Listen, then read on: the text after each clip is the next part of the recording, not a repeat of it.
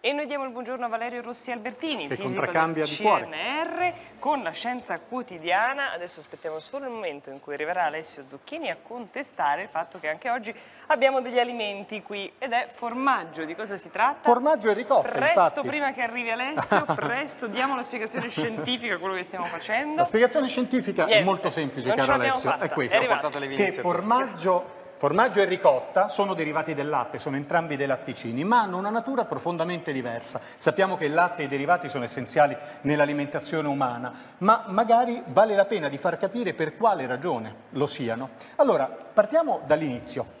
Noi, al- tra le sostanze più importanti della nostra biologia ci sono le proteine, quelle capito alcol che spirito. tutta la vita può essere spiegata con questi blocchetti? Tu hai appena ammazzato qualche milione di persone. No, hai ammazzato una proteina, Ah. perché queste sono proteine che sono semplicemente dei... Scusa, delle, puoi delle il giochino alla mia perché non, non è divertente.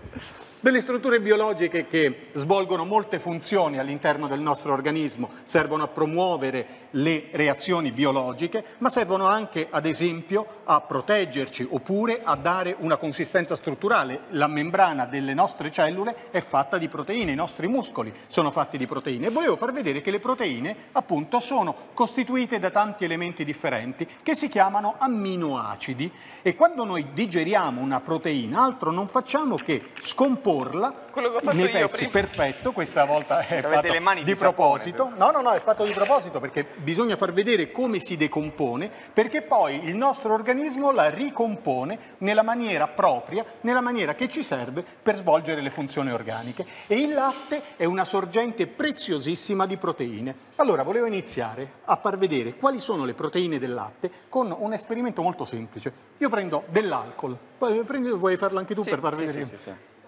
Alla al cincino Dai una bella e, al- e alcol denaturato.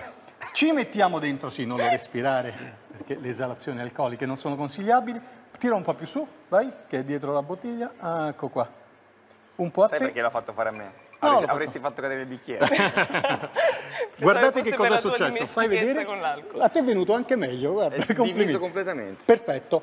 Il latte si è, come si dice in gergo, cagliato, cioè da liquido che era, adesso sono precipitate, cioè si sono coagulati i grassi e le proteine e adesso lo lasciamo, poi potremo far vedere che eh, diventa sempre più evidente questo effetto di coagulazione man mano che passa il tempo. E questo è il metodo con cui si fa il formaggio. E la dimostrazione di oggi consiste proprio in questo, nel far vedere che differenza c'è tra fare il formaggio e fare la ricotta.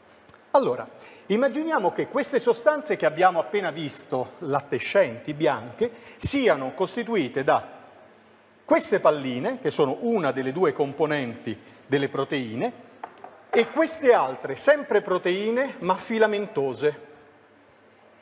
La sacchetta delle arance? Esatto, qualcosa del genere. E le mettiamo dentro. In questo momento abbiamo fatto il latte in pratica, perché è una soluzione acquosa di grassi e proteine. Guardate come le proteine che sono rappresentate da queste palline, da questi filamenti, adesso siano tutte quante rimescolate. Nel fare il formaggio, quello che si fa è di dividere queste due componenti. Le componenti sferiche, le palline che si chiamano appunto globulari, sono le caseine, cioè le componenti principali del formaggio, dei vari formaggi. Vediamo.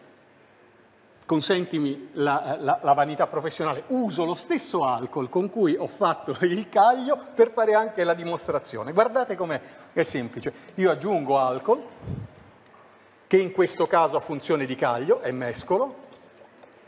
Mm. Aggiungo, aggiungo e mescolo. Mescolo, mescolo. Ah, Ecco qui. E guardate che cosa sta succedendo. Le proteine che sono costituite dalle palline e sono le proteine del formaggio, della caseina, vanno sul fondo. Le altre rimangono in sospensione. Queste proteine, le palline, si eh, compattano, si mettono all'interno di una forma e ci danno il formaggio. Mentre invece le altre che sono rimaste all'interno di questo liquido costituiscono il siero del latte. Allora ecco qual è il modo.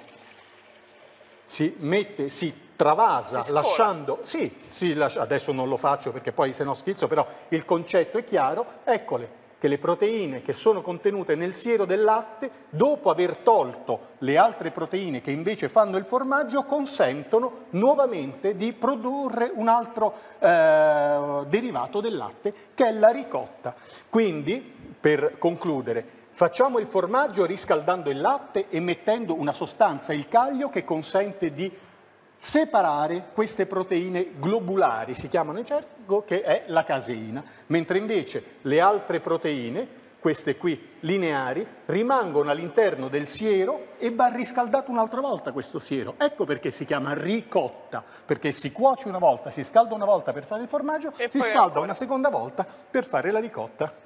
Hai Chiaro? capito? Sì, ho imparato Quante anche cose abbiamo imparato? La ricotta è quello che mi è rimasto più impresso. E mm, Anche la- formaggio. formaggio che sta all'interno della forma, o cacio come dicevano gli antichi. cacio. La riflessione è questa.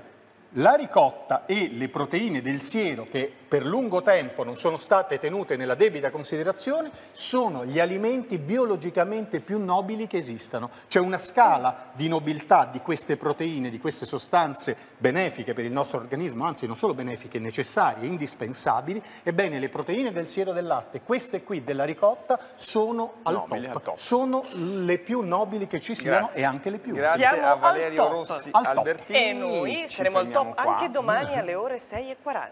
Che- Giusto? Sei, sei impazzita. Benedetta Rinaldi, Umberto Broccoli, a voi. A domani.